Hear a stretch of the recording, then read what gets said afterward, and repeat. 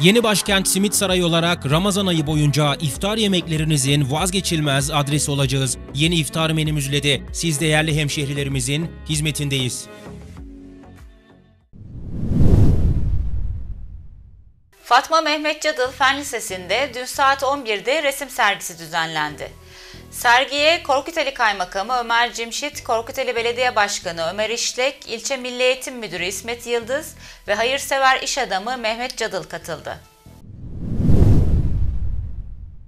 Geçen arkadaşlarımıza teşekkür ediyoruz. Hayırlı uğurlu olsun.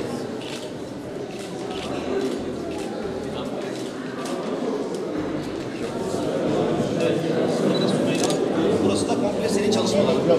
Evet. Bugün e, arkadaşlarımızla beraber e, Mehmet Cadıl Fen Lisesi'ndeyiz. Fen Lisesi'nde müdür bey, idarecilerimiz ve öğretmenimiz e, yıl boyunca e, yapmış oldukları resim çalışmalarıyla alakalı bir sergi e, düzenlediler. İşte bu sergiyi e, beraber gezdik. E, hakikaten ben emeği geçen müdür bey, idareciler ve öğretmenimiz e, başta olmak üzere tüm öğrencilerimizi tebrik ediyorum. Çalışmaların hepsi birbirinden güzel. E, Bundan sonra da gerek e, patronumuz, hayırseverimiz yanımızda, onun da destekleriyle e, kaymakamlığımız, belediyemiz hep birlikte e, okulumuza, öğrencilerimize destek vermek suretiyle yetenekli gençleri motive ederek daha iyi çalışmalara, daha güzel, başarılı çalışmalara imza atmaları için elimizden gelen gayreti bizler de göstereceğiz. Ben tekrar emeği geçen özellikle de öğrencilerimizi e, tebrik ediyorum. Hayırlı olsun. Tebrik ediyorum. Ellerine sağlık diyorum. Tabii bir şey, e, şu anda gezerken bir şeye sebep oldular. Ben şu anda bir karar aldım.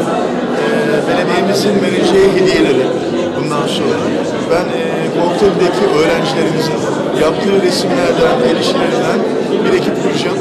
İnşallah e, onunla hem Ankara hem gelen misafirler hem yurt dışı misafirleri kendi öğrencilerimizin el emeklerini kendilerinden satın alacağım. Hem katkı sağlayıp isteyeceğim. Hem okullarımız hem öğrencilerimiz ama bugünden itibaren inşallah Komutanı Belediyesi'nin dışarıdan hediye satın alma olayını bitiriyorum.